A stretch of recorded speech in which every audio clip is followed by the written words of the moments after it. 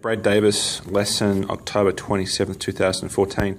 What we're working on today with Brad is just to get a little bit tighter and narrower with his arm motion. And you can see with this, the way he's moving here, his body's really synchronizing well with his arm motion.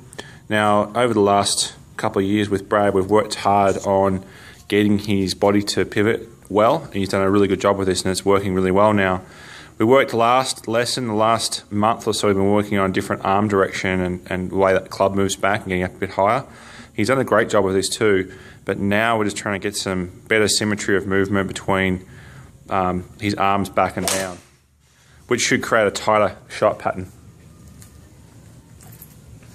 Okay, one more, one more, bud.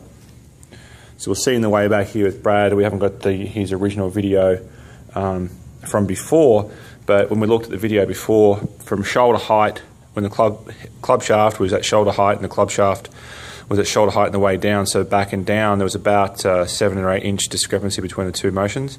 With this motion here, it should be a lot tighter back and through.